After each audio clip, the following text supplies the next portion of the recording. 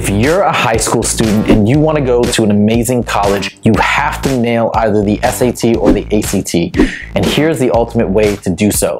Take loads and loads of practice tests. Whatever test you choose, I recommend no less than 10 practice tests. There are three huge reasons why practice tests are so essential. Number one, these standardized tests are long and practice tests help you build your stamina. You want to take them in real test surroundings with a timer in a room where it's quiet. Number two, taking practice tests will help you identify all of your weak areas and what you need to focus on. Every time you take a practice test, you're gonna get certain questions wrong, and that's gonna be an indication of what concepts you need to focus on going forward.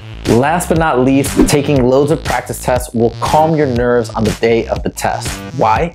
Because these are standardized tests for better or for worse, which means that they have to adhere to certain strictures.